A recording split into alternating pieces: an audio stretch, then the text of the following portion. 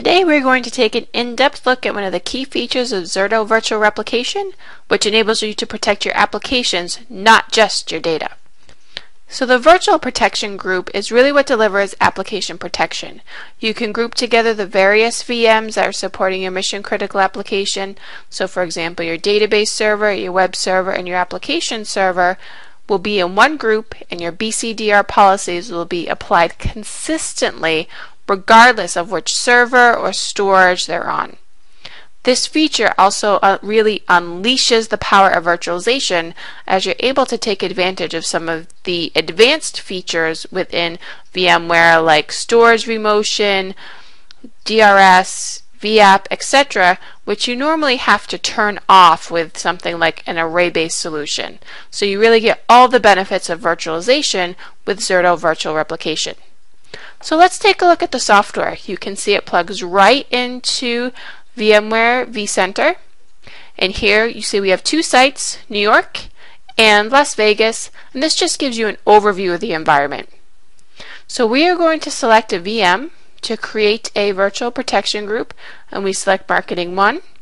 And we see that the software tells us it's not in a virtual protection group, so we can add it or create a new virtual protection group, and we'll create a new one.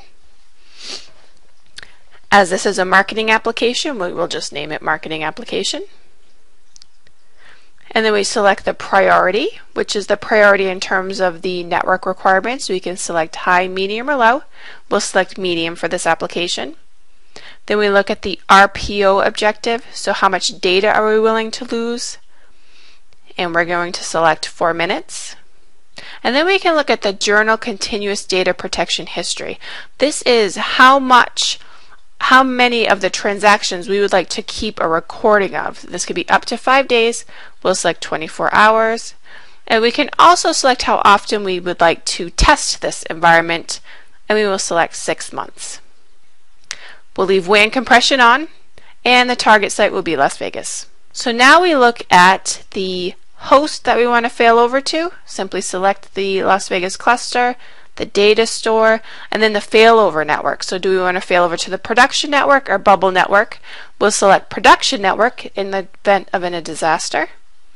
And then we can select the test network, which we've named bubble network, when we want to test the recovery process and make sure it's working correctly.